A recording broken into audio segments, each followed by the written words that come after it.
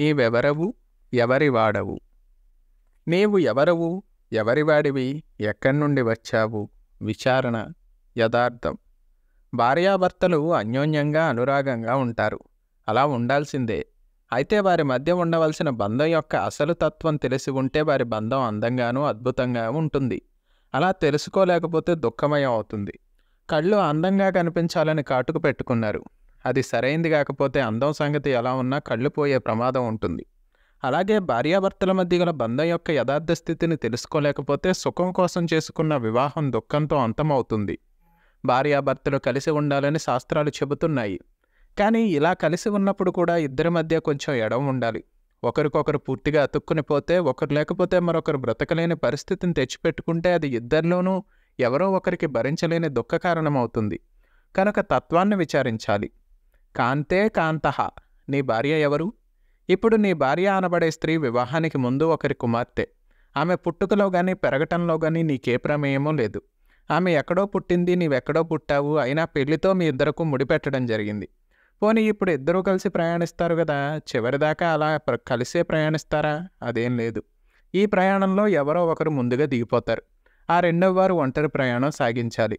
అంటే జన్మించడం ఒక్కసారి జరగలేదు. వెళ్ళిపోవడం కూడా ఒక్కసారిగా జరగటం లేదు. ఈ మధ్యలో మాత్రం కొంతకాలం విడిగాను కొంతకాలం కలిసిమెలిసి జీవిస్తారంతే. ఇదంతా ప్రయాణం లాంటిది. ఒక ప్రయాణికుడు మద్రాసులో రైలెక్కాడు. కొంత దూరం ప్రయాణించి నెల్లూరు రాగానే మరొక ప్రయాణికుడు ఆ కంపార్ట్మెంట్లోకి ఎక్కాడు. ఇద్దరూ ఒకరినొకరు పరిచయం చేసుకున్నారు. లోకాభిరామాయణంతో ప్రారంభమై రాజకీయాలు సినిమాలు వేదాంతం అన్నీ మాట్లాడుకున్నారు. ఎంతో ఆత్మీయులయ్యారు. మొదటి ప్రయాణికుడు చీరాల రాగానే దిగిపోయాడు. రెండవ ప్రయాణికుడు మొదటివాణ్ణి విడిచి ఒంటరిగా దీనంగా ప్రయాణించి విజయవాడలో దిగిపోయాడు. ఇంతే వారి మధ్య సంబంధం. భార్యాభర్తల సంబంధం కూడా ఇట్టిదే. అందుకే తత్వ విచారణ చేసి ఈ బంధం ఎట్టిదో సరియైన అవగాహన చేసుకోవాలి. అప్పుడే నీవు ఎలా ప్రవర్తించాలో సరిగ్గా తెలుస్తుంది. కస్తే పుత్ర. అలాగే నీ కుమారుడెవరు అని కూడా విచారించు. పుట్టిన దగ్గర నుంచి అతడు నీకెంతో ప్రేమాస్పదుడైన కుమారుడు. మరంతకుముందు అతడు నీ భార్య గర్భంలో పిండం. అంతకుముందు అతడు నీలో బీజరూపం. ఆ బీజరూపం ఎలా వచ్చింది? నీవు తిన్న ఆహారం ద్వారా నీలో తయారైంది. మరి ఆహారం ఎక్కడి నుంచి వచ్చింది? భూమిలో నుండి వచ్చింది. అంటే మట్టి అనేక మార్పులు చెంది ఆహారంగా మారి ఆ ఆహారం నీలో బీజంగా మారి ఆ బీజం నీ భార్య గర్భంలో ప్రవేశించి పిండంగా మారి అది వృద్ధి చెంది శిశువుగా వ్యక్తమయ్యింది. అంటే మట్టి యొక్క చివరి రూపమే నీ కుమారుడన్నమాట. మరి నీవెవరు? నీవు అంతే. కాకపోతే ఆ బిడ్డ కన్నా కాలంలో నీవు ముందున్నావు. నీవు కూడా మట్టి యొక్క ఆఖరి రూపమే.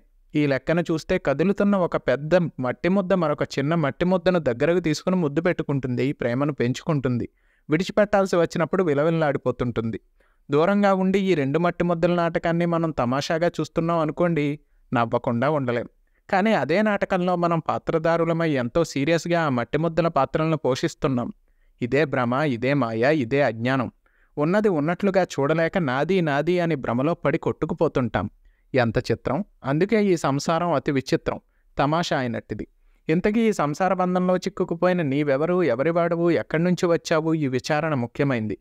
వేదాంతంలో నీవెవరు అని విచారణ చేయటమే మానవ జీవిత సార్థక్యానికి ఏకైక ఉపాయం.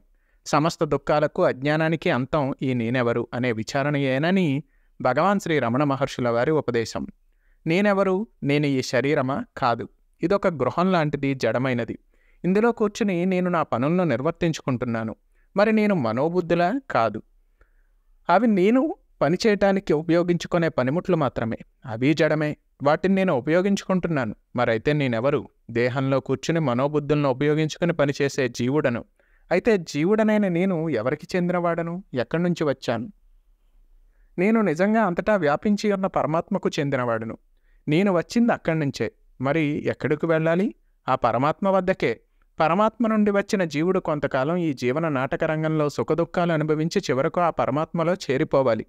అప్పుడే పరమశాంతి శాశ్వతానందం. ఈ ప్రపంచంలో కంటికి కనిపించే ప్రతి పదార్థం శూన్యం నుంచి వచ్చిందే. తిరిగి శూన్యంలోకి వెళ్ళాల్సిందే. ఆ శూన్యమే అణువులను కదిలిస్తుంది జీవాన్ని సృష్టిస్తుంది కదిలిస్తుంది ఆనక ఆపేస్తుంది. ఆ శూన్యమే ఈ సమస్త విశ్వమంతా ఆవరించి ఉంది మరియు చలింపచేస్తుంది. ఆ శూన్యం పేరే శివం.